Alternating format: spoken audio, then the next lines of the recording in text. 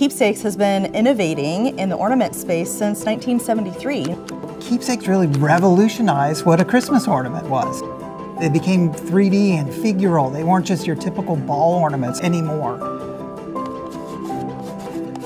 It was just groundbreaking to me when they started putting lights in and making things move. And with the aid of electronics and mechanics, they come to life. We've really upped our game on a lot of different ways to bring magic to our collectors. Let's add light, let's add sound, let's add motion. The artists come up with all of these fantastic concepts, and then as a team, we try to elevate those.